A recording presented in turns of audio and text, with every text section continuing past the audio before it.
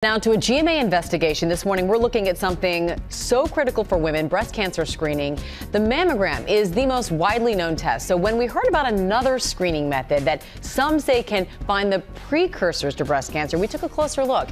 ABC's Kyra Phillips is here with what she found, and it was quite a lot, Kyra. Sure was, and we're talking about thermography here, Amy. These particular brochures advertise it as a painless infrared screening test, an alternative to mammography, and more efficient at detecting precursors to cancer. But as our investigation uncovered, taking these claims at face value could put your health at risk. Please check us out. The pitch sounds so promising. We'll pick up tumors 8 to 10 years prior to mammograms. Thermography, an infrared screening test available at more than 700 locations across the U.S sometimes advertised as a radiation free screening for identifying precursors to breast cancer. Thermography, the new mammography. But if you hear that and think it's a replacement for a mammogram, it isn't. Some practitioners say they make it clear it's not a standalone test. But Morgan Delane says she didn't notice that in the fine print. They said they can detect disease um, maybe in advance before it even happens. After finding a lump in her breast in 2012, Morgan says she was in denial and hoping to deal with it naturally. So she went here to Total Thermal Imaging Wellness Center, just outside San Diego, operated by Dr. Gregory Melvin, a chiropractor. He said, Are you sure you have a lump? And I said, Yeah. And he said, I don't see anything. Her baseline test indicated she had what they called a mild to moderate risk of developing aggressive tissue Dr. Melvin recommended exercises, a cleanse, and that she come back in three months for a comparative scan, his protocol for new patients. Morgan returned four months later. Her symptoms had become dramatically worse. She refused another set of scans. I just said, I'm such a fool. Why did I even come here? Unemployed and uninsured, Morgan says it took several months to get in for a mammogram and biopsy. Her diagnosis? stage three breast cancer. How'd you get through? I think I'm just stronger than I thought I was. According to the FDA, thermography has not been shown to be effective as a standalone test for breast cancer screening and is only cleared for use alongside a primary test like mammography. The Total Thermal Imaging brochure states that thermography, quote, is an alternative to mammography and is far more efficient at detecting cancer. I don't know anyone who I consider a credible resource who would suggest that thermography, in the absence of another breast cancer detection test, is adequate. Melvin and his partner Linda Hayes agreed to sit down with us. Do you have research that shows that thermography saves lives? Only in conjunction where they were using mammograms with thermography. Linda, you told our producers that nobody needs a mammogram. I would never say, you know, because people are very, very adamant about mammograms.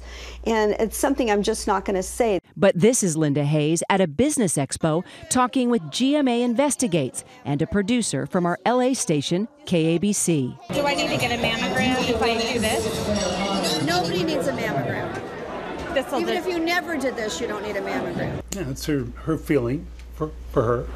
I went in for a thermal scan at a clinic in New York, recording it with undercover cameras. All images sent to Dr. Melvin for reading.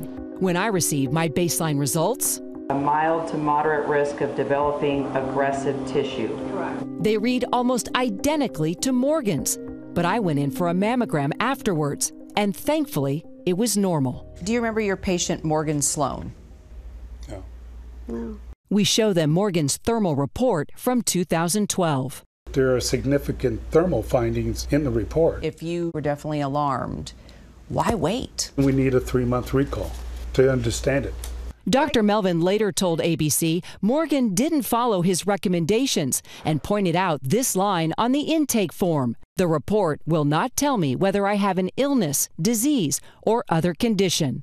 We also asked about those cancer detecting statements in the brochure. They told us they have now changed it. Walk nice. As for Morgan, she is now cancer free. And her advice for anyone who discovers a lump? Go get a biopsy. It's the only way.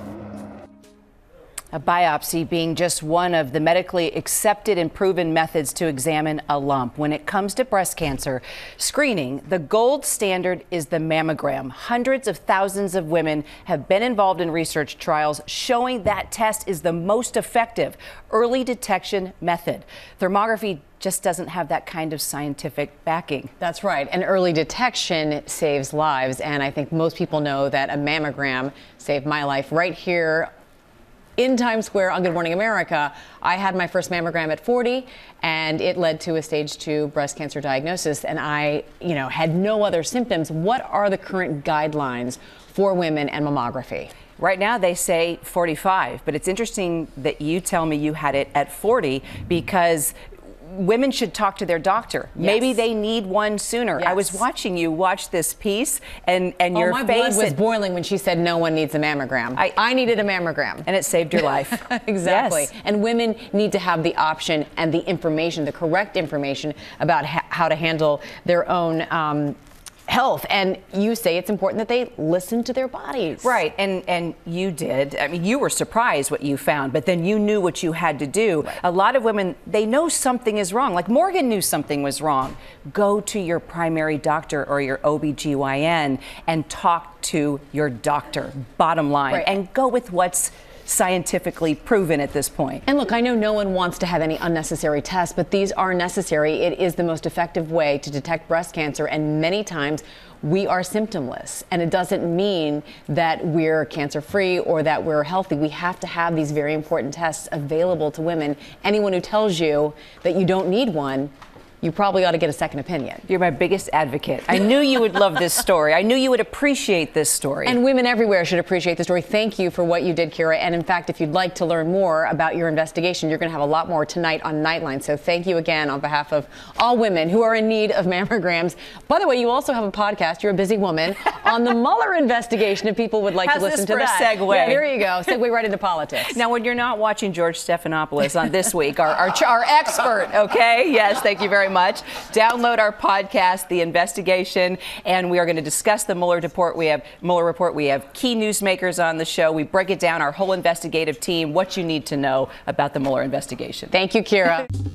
Well, hey there, GMA fans. Robin Roberts here. Thanks for checking out our YouTube channel. Lots of great stuff here. So go on, click the subscribe button right over right over here to get more of awesome videos and content from GMA every day, anytime.